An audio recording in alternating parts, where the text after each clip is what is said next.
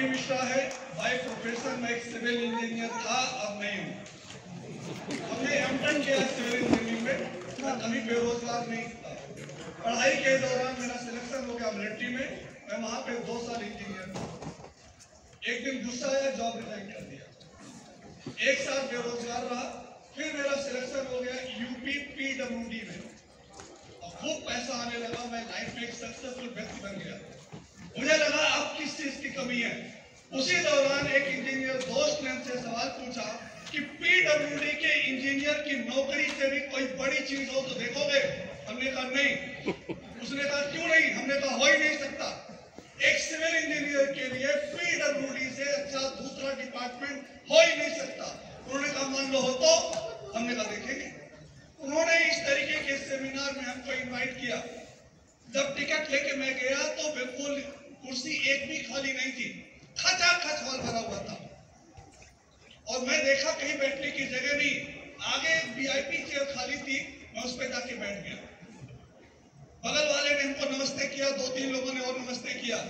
लोगों ने उससे पूछा, आप कहाँ से इमराइड हो? हमने कहा, हम पहली बार आए हैं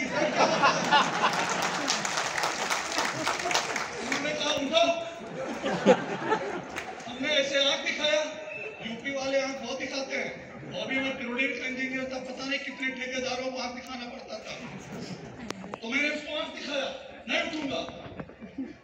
एक दो लोग और आगे उठो अब मैं समझ गया कि मेरी बेइज्जती हो जाएगी तो मैं धीरे से उठा। और जब मैं उठा तो मेरे आँसू गिरने लगे और हमने सौगंध खाया ये कोई भी बिज़नेस हो इसमें कुछ भी काम करना पड़े। इसको मैं ज्वाइन करूँगा इसको करूँगा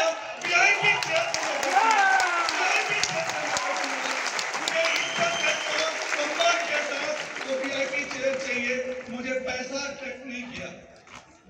पैसा टच नहीं किया क्योंकि पीडब्ल्यूडी में बहुत पैसा होता दोस्तों।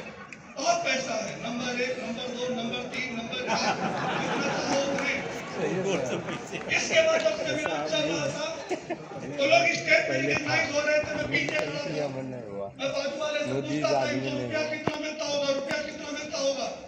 मुझे कुछ नहीं समझ में आ रहा था केवल रुपया कितना पैसा कमाते होंगे। तो उस समय बताया गया इतना रुपया पाते होंगे। मेरे अंदर से आवाज़ आई, मेरी तो सैलरी यार इतनी है। तो मैं इस काम को करूँगा और इतना रुपया मैं भी कमाऊँगा। मेरी दूसरी ड्रीम जगी और तीसरी ड्रीम मेरी जो जगी उस हॉल के अंदर, एक लेडीज़ स्पीकर थी, वो अमेरिका से आई थी, बड़ी खूबसूरत थी। और लड़कों को तो वैसे भी लड़कियाँ खूबसूरत दिखता है। मैं सिर्फ़ और सिर्फ़ उस स्पीकर को एक आँख से देख रहा था अरे कहाँ की हीरोइन है कहाँ की तो मेरे अंदर से अमिताभ बच्चन जगने लग गया।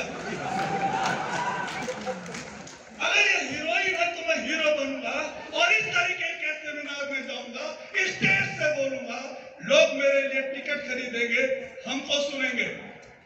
दोस्तों, आप इस हॉल में आए हो, क्या सपना लेके जाओगे मुझे नहीं पता, लेकिन इसी हॉल में आपको ड्रीम लेना है और ड्रीम लेके जाना थैंक यू सो मच